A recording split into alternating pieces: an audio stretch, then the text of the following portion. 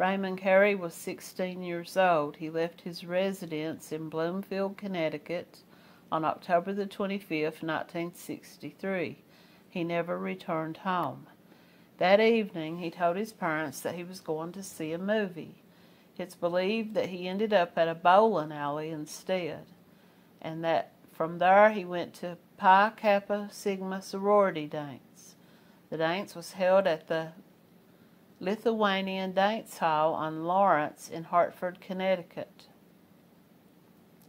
It's been reported that he declined a ride home from the dance with a friend, saying that he already had a ride. A young woman also came forward to report that she had seen Raymond leave with three other teenage boys. He was never seen again. Raymond's parents became concerned when Raymond never returned home. In addition to reporting him missing, they contacted a newspaper in northern Maine. Raymond's father had grown up in Maine, and although Raymond had never visited, they considered the possibility that he might have gone there. There is very little information available about Raymond's disappearance. The identity of the three boys he was seen leaving with don't seem to be known. I will be the first to say that I don't know much about sororities.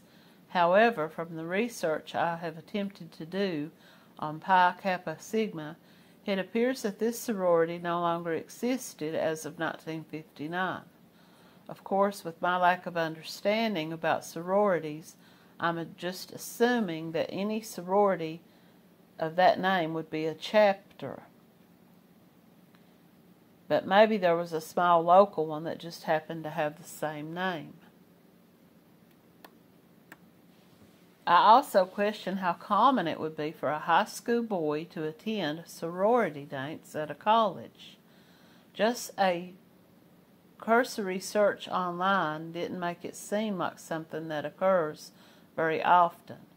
Of course, I know very little about his home life, but his father was an experimental technician. His mother was a stay at home mother, and he had one sister.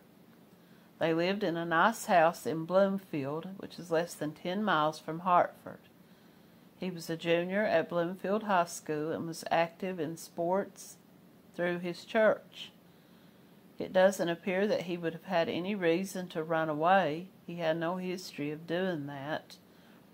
In the early 1960s, it was certainly more likely that a teenager would accept a ride from strangers, so I don't think he necessarily would have known the three boys he reportedly left with. But I also find it hard to believe that three teenage boys, whether known to him or not, would have harmed him, and none of them would have spoken up over the last 60 years. It makes me wonder how sure the witness was that the person they saw was actually Raymond. Raymond's father passed away, never knowing what happened to his son. His mother was still alive as of 1997. So keep in mind these are these cases were written about and they're older cases. So um, this is from the Charley Project, and they have an age progression here. Missing since October the 25th, 1963. He was white. He would be 76 years old today. Now, he was 5 foot 6, 130 pounds. He was last seen wearing a green sweater, dark green sports shirt, black and gray suede shoes, and black paint. Um, he had brown hair and blue eyes, and he had a scar on his lip. Um, he left his home in the 70 block of Bloomfield, Connecticut around 7:15 p.m., saying that he was going to a movie, but it's believed he had a change of plans and ended up going to a bowling alley and then to a Pi Kappa Sigma sorority dance possible that he went to the bowling alley. Maybe he went to the movie theater and the friends that maybe he was supposed to meet some friends and they all said we're going bowling instead. Um, or maybe he went to the bowling alley and lied to his parents, which is known to happen sometimes. But while he was at the dance, he told someone that he had a ride home, and it was reported that he was seen leaving with three boys. Um, he often played basketball and softball at Bethel Baptist Church. He had no history of being a runaway or having gotten into any kind of trouble, and that's all there really is about him. Um, it could be possible that he that this woman or this witness who reported seeing him getting into the car with these other three teenagers maybe a fight broke out later between them maybe they ended up going someplace else and drinking or something i don't know uh, maybe it's possible that he wasn't even one of the boys who got into the car um, I don't know. This is just one of those cases that just seems as though someone just disappeared into thin air and no answers. And the reason that I, myself, and other people who have these web pages and stuff talk about the clothing and stuff that they were wearing when these cases are that old is just because in the event that maybe you know, remains were ever found, as as this story tells, he his this was reported in 1997. His mother was still living. That it was reported that he had one sister. They might have given DNA. Of course, keep in mind if his mother died. Um, let's see if I can find anything else about him on any other websites. If he does still have a sister who's possibly still living, maybe she had children, grandchildren, maybe they could give their DNA, and maybe if remains are found or maybe remains have been found, you know, there could one day be a match.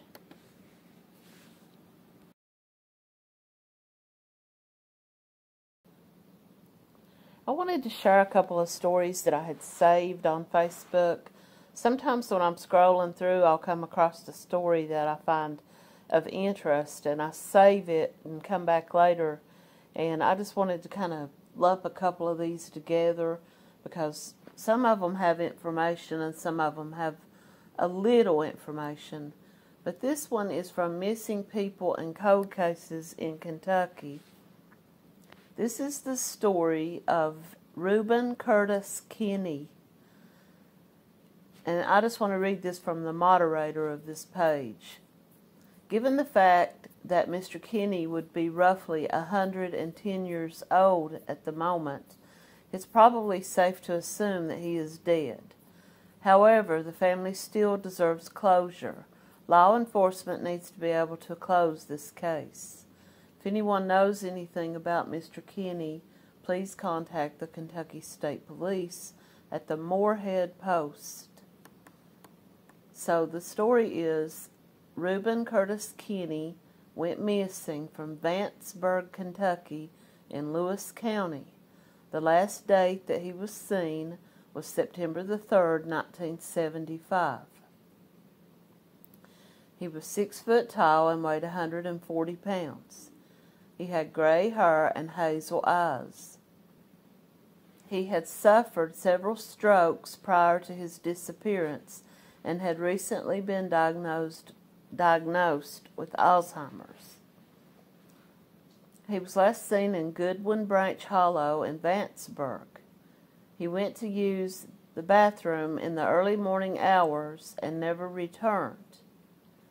He has never been heard from again. An extensive search involving scent dogs turned up no indication of his whereabouts. Um, a memorial monument was erected in Hackworth Cemetery in Lewis County. If anyone has any information, contact Kentucky State Police Post 8 at 606 784 4127. Um, they said that he had what is known as an outhouse. Those of us from the mountains and the hills of Appalachia know what an outhouse is. Uh, not very many people probably use them at this time. I, I was surprised to read that in 1975 people were still using them, but I guess some older homes never had plumbing. But an outhouse, for those who might not know, is a bathroom outdoors. Um, so he had gone outside to his outhouse and he never came back in. I don't know if he lived alone, if he was married, but this is the story that he went to use the outhouse in the early morning hours and didn't come back inside the house. So something could have happened to him um, in the night. He could have become disoriented or confused and just wandered off into the woods. I'm sure searches were done. Theories from the family is that he became disoriented and wandered onto someone else's property. Maybe he was mistaken for an intruder and someone shot him and disposed of his body. Well, maybe, possibly, but I would be surprised by that. I think most normal people, if this happened and they realized I've shot I've shot this old man who was probably just wandering lost, they would probably call the police and say, you know, I didn't know. I thought he was here to break into my home. Maybe he did try to go into someone else's home thinking that it was his. And maybe something like that did happen. Uh, uh, game wardens in the area. His family reported his disappearance, and game wardens brought out their search dogs, searched the area, but did not find him. So there's really not a lot else to add to this story. This man was in his 70s. He supposedly went outdoors to use his outhouse late in the night hours, early morning hours, and vanished and was never seen again. Um, surely, if his if he had passed away from exposure or a fall of some kind, his remains would have been found. I, I don't have any idea. I wonder if the police did any real investigation into this, did they investigate the family and this story? Is it possible that this man was, you know, died in some other way and this story was created to cover this up? I'm not saying that, I'm just asking that question. But to wrap this video up, I'll just say there's very little else to go on and after all these years, this is just a cold case that is one of those that will probably never be solved unless some remains do turn up. I found another story I wanted to include in this video. It's another one that has very few details. I found this on Unsolved Appalachia, and I'm going to read it just as they have it here this post is going to be one of the shorter ones since there isn't very much information online about this case. Regardless, I feel that everyone deserves a mention, even if I can't give them a very paragraphed page of factual details, I will give what I can. James P. Hillis, age 35, was last seen when he left his home in Briar Branch, Kentucky, in Leslie County on September the 12th, 1993, to go to his job. His truck was located 130 miles away on September the 15th, 1993, in Knoxville, Tennessee. The keys were still in the ignition. It's believed he may have left the country. That's it. That's all the information there is. I wonder why they would think that he may have left the country. Where did he work? Did he even make it to work that day? Did law enforcement check flight records? There's so many questions and no answers. If you knew James or anyone that may have a lead on this, please contact the Kentucky State Police at 606 435 6069. Um, I, there really wasn't any more information on him. The only other link I found was on NamUs. James Patrick Hillis white male, last date of contact September 12th, 1993. He was 35 years old at the time. He would be 65 today. Um, he was six foot tall and 185 pounds. Briar Branch, Kentucky, in Leslie County. He went to work on the 12th of September 1993 and never returned home. His truck was discovered in Knoxville with the keys still in the ignition. And that's about it, really. They said he wears he wears uh, eyeglasses, and he had a mustache. He was wearing a work shirt. I don't know if he was married, if he had children, who was the last person that had contact with him. Um, there's really nothing more to go on here. Um, I, I looked, and I know that Unsolved Appalachia did their research, and they could find no more details on this. Why did they believe he left the country? Had he gotten into some kind of trouble, legal trouble? Was it a custody dispute or children involved? Uh, a bad divorce or something of that nature? Had he gotten in some type of trouble at his job? Was money missing or anything like that? There's no details here. It's just the case of a man who got up one morning, got dressed to go to work, and three days later his truck is found um, in another state.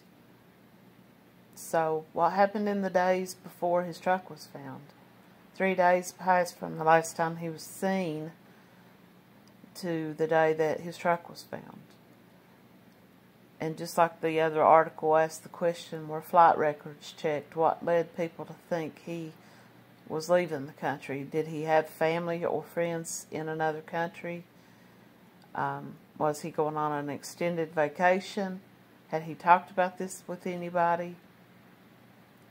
This is just one of those completely blank disappearances. There's nothing.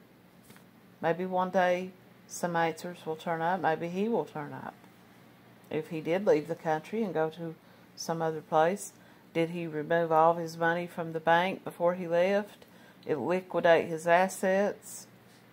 You know, what gives people the idea to say it's believed he went to another country? Was his truck found near the airport? You know? This little details like that, and there's nothing here. I will look on YouTube and I will look on Facebook and see if there's any more pages about him, but as of right now, this is all there is. Thanks for watching.